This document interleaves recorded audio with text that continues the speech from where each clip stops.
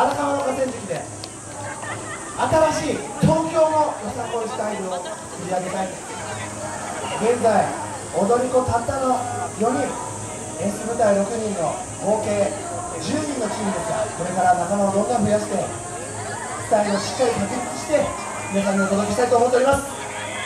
今年のテーマは「ライジン」斬新なる和の世界。ロックのリズムにアレンジされたよさこい節。